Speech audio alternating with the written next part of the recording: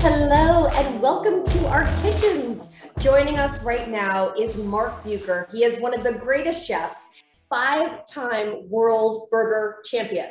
I want to help everybody uh, up their burger game. Okay, let's do it.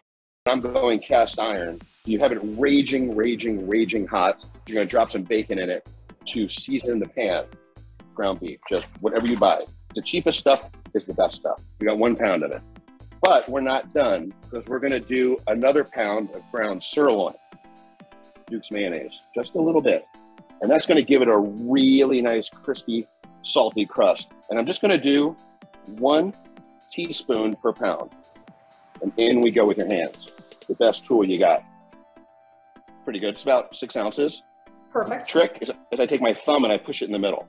By putting your thumb in the middle, you uh, you give it some room to expand and not ball up. So now you're going to salt it, and you're going to salt it with more than you ever thought possible. Same with pepper. Wow. Yeah, don't don't be bashful.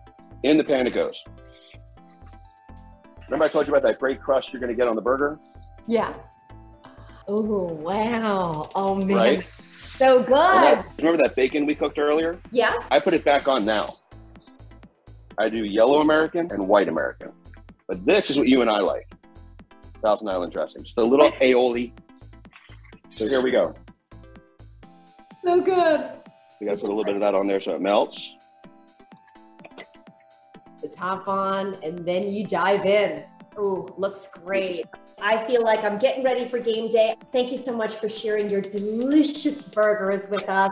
If you want all the details, go to tasteofthenfl.com. And Mark, thank you so much for joining us today.